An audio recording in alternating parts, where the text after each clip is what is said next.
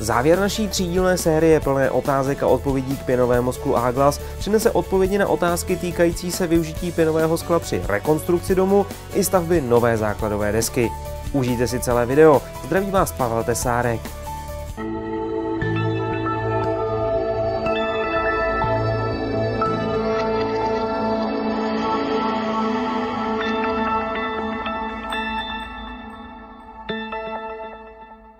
Zdenka Tichá píše, že má starou chalupu a na té staré chalupě má plíseň a navíc myši. A ty myši dokonce byly ještě tak šikovný, že jí sežrali dřevěnou podlahu. E, ptá se, jestli pěnové sklo může využít i v rámci rekonstrukce. No, e, určitě jo. Tak vzhledem k tomu, že ty myši sežraly i tu dřevěnou podlahu, tak rekonstrukce bude poměrně dost snadná, protože nemusí e, podlahu. Nemusí trvat podlahu ale ten materiál se používá jako, jako plnivo eh, nebo výplň toho, co vlastně se po ty prkna dávalo, kdysi prostě to byla škvára, co se kde prostě sebralo, že jo.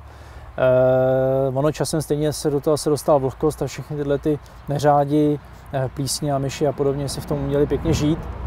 Takže ten materiál se používá vlastně jakoby, jakoby ta výsypová, výsypová výplň s tím, že potom se na to dává buď dřevěná podlaha, klasický prostě dřevěný záklop, anebo se na tom dělá nějaká betonová podlaha, což je vlastně ještě snažší. Ten postup je realizace je snadný, přijdete do místnosti, vyškubete podlahu, vyvezete prostě, co tam je a na zpátek do toho už se sype jenom pěnový sklo, eh, který se zhutní ať už nějakým zahradním válcem nebo vibrační deskou, tam záleží o to, kde jste, jestli jste někdy v patře nebo vlastně v přízemí. A následně potom se položí na to geotextílie a buď se udělá prostě nějaká zálivka betonem deska 5 cm, která je vystužená karisítí, a nebo prostě se udělá záklop z OSB desek a nebo, nebo z prken. Eh, tam je ještě potřeba teda u toho říct, že eh, ty, ty prkenní podlahy nebo ty OSBčkové podlahy jsou vlastně podepřený nějakým trámovým roštem, který vlastně to celý jakoby vynáší. Takže používá se to na tom a poměrně dost hojně. Karel píše, že bude na jaře stavět desku, plánuje stavět na pěnovém skle, plánuje stavět své pomocí a největší obavu, kterou on má, je hutnění pěnového skla. Eh, jak to udělat, abychom pěnové sklo dostatečně zhutnili, přesto ho neponičili, eh, jaký použít pěch nebo vibrační desku, o jaké velikosti, o jaké hmotnosti, existují na to nějaká pravidla, tabulky, čím se to řídí? No, tabulky na to neexistují, on je to celkem dost jeden velký bubák toho, toho hutnění, toho zpracování toho pěnového skla. Ale jak jsem říkal předtím, je potřeba ten materiál ukládat ve vrstvách, to znamená 20-25 cm, a mít na to vibrační desku. Vibrační desku od 100 do 120 kg, někdo používá i 80 kg, aby měl opravdu jistotu toho, že ten materiál bude dobře zhutněný, ale nebude přehutněný, nebude vlastně si rozsejpat na prach. E, takže tam je potřeba opravdu dodržet ty zásady ukládání ve vrstvách a ta deska by byla fakt jako maximálně do, toho, do těch 120 kg. E, oni mají běhoun do nějakých 60 cm, Eh, občas se bude zdát své pomocníkům, že ta deska se jakoby zahrabává, má tendenci propadat, ale to je vlastně jenom při tom prvním pojezdu. Při tom dalším pojezdu, který už vlastně jedete, tak ten materiál už je částečně zhutněný a už prostě jedete pěkně jako a získáváte prostě nějakou tu pevnost. Jako.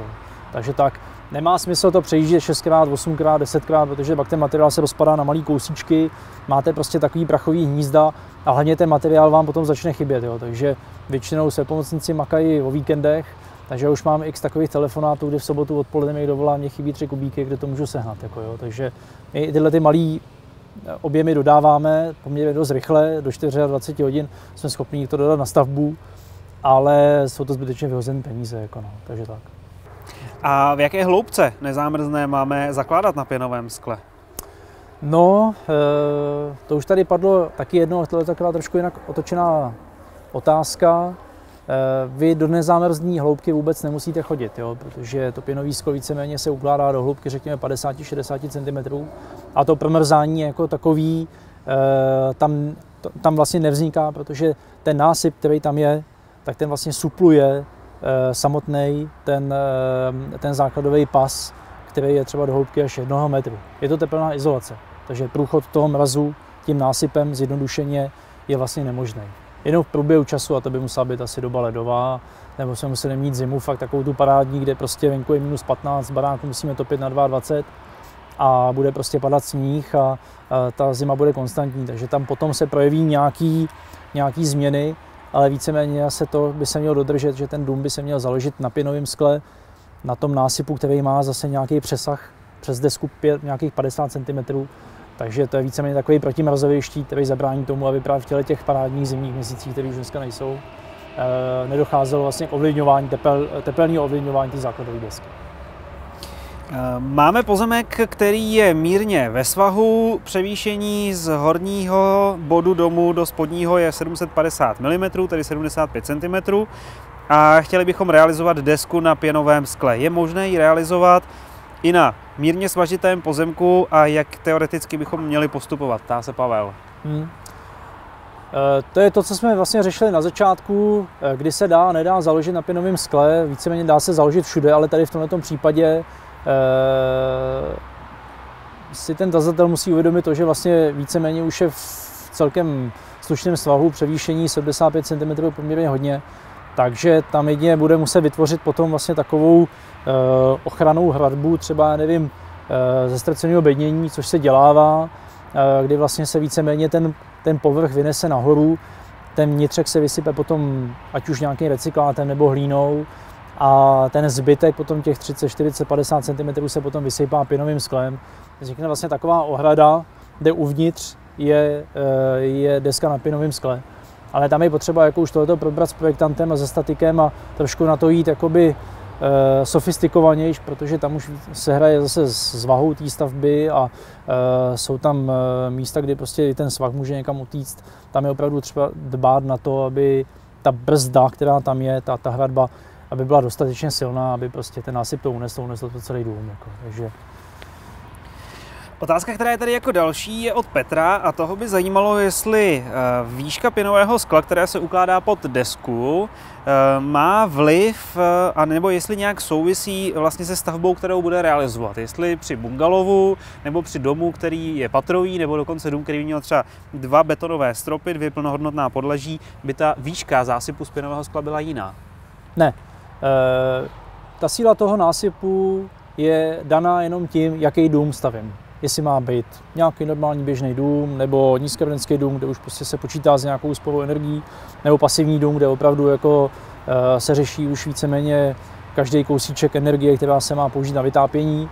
Eh, co se týká toho domu jako takového, jestli má být patrový nebo dvoupatrový, tak aby to fungovalo, to už je potřeba řešit přímo v desce, kde prostě na základě toho, jaký je dům, z čeho je postavený, jak je vysoký, se řeší potom síla samotné té základové desky.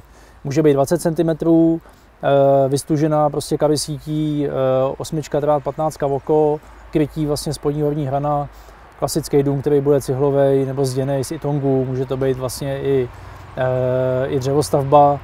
Eh, pokud to má být nějaký patrový dům nebo, nebo dům z těžkého zdiva, Uh, už ty desky jsou třeba 25 cm až 30 cm silný a tohle to by měl řešit hlavně projektant, tohle by si ten svépomocník jako na triko neměl vzít, protože pak by uh, by mohl zaplakat nad vědělkem, protože deska ne, že by prostě barák spadnul, ale ta deska třeba praskne a ten, na tom domu se prostě objeví trhliny a to jsou věci, které už nikdo nikdy nespraví. Jako jo. Takže tam je potřeba jako si dát na to opravdu velkého majzla, ale zase třeba držet toho statika trošku za ucho, protože oni mají tendenci přehánět, tak aby z té desky neudělal nějaký atomový bunkr a vy jste měli 40 cm desku na dřevostavbu. Jako, takže je tam třeba najít nějaký optimal. My třeba v tomhle děláme ty, to poradenství taky, máme prostě nějaký modely základových desek, na který se to dá napasovat, od, od čeho se vlastně jakoby ty své pomocníci dokážou odpíchnout, představit to tomu projektantovi, anebo víceméně přes nás se s tím projektantem se můžeme spojit my a nějakým v tomhle pomoct, aby zbytečně jako neutráceli peníze. Jako.